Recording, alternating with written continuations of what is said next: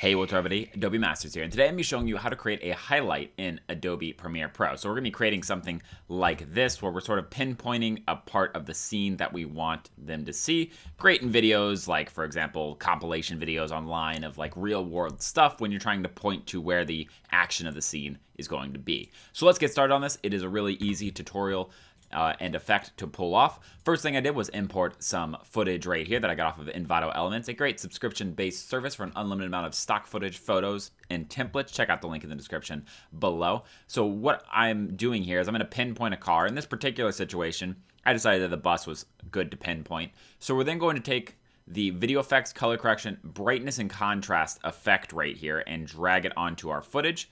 We will then go over to our footage and we need to drop the brightness down. Now, this is going to drop the brightness of the whole scene. So we need to create a mask and then invert that mask. So we're going to click the circle to create a circle mask. We're going to invert it to make it. So instead of actually highlighting, what we're doing is we're darkening everything else. If you highlight an area, it's not going to come out looking too good. Like, for example, it just looks it doesn't look as good as it could. Uh, the inversion is what's really going to pinpoint that location to the the the viewer. So once we have this, we can now click on this and let's shrink this down a touch here and just get a smaller circle. We don't need to be highlighting the entire video, otherwise we don't really have a point to our highlighting. So we're gonna center it on this bus right here. Now we need to animate it. So I'm gonna go ahead and click mask path, and you can try using the engine here by clicking play and it'll try tracking. It may lock onto this bus, but it may lock on any of the, any of the other cars. Give it a go. If it doesn't work, then we're gonna do it manually. I'm holding the shift key when I move forward. I'm gonna move forward about 20 frames at a time. And then I'm just going to have the mask selected, and we're just going to keep moving it back so that it's centered. And it shouldn't take too long when you do it like this. Remember, if you hold that shift key when you go forward, it will go ahead and make this work a little better. Now, if you notice something, here's actually something funny. This circle size is identical the entire time, but due to the way that the truck is growing, it actually appears like the circle is shrinking, which is kind of cool. It's an optical illusion.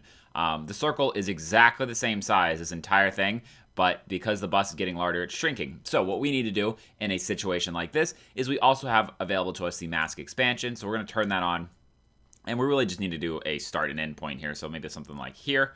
And then if we expand outwards, we can actually make it so it's same sort of area. And now, even though that it's getting larger, it appears like it is staying the exact same size. So just a, a nice little tip here, and then make sure uh, that it actually fully disappears whenever that element is gone. But that is the easiest way to create a highlight. You can do this with really anything that you want. You can change the mask up and make it into a different shape if that's what you want. But once you add it, just go ahead and animate it through. Thanks everyone for joining me. If you have any questions or comments, throw them in the comment section below. If you'd like to learn Premiere Pro through a course, check out the link in the description below. I created a course on Adobe Premiere Pro that goes through and teaches you all of these effects in here in really small, easy to digest ways. So check that out. Uh, hit that subscribe button for more tutorial based learning. And until next time, guys, see ya.